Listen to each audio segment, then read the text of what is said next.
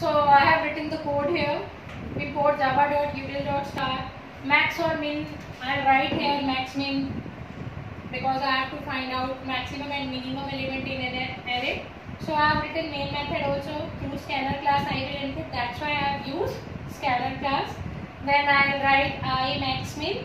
So in this way I have declared array a. How I will declare int a by array is integer type.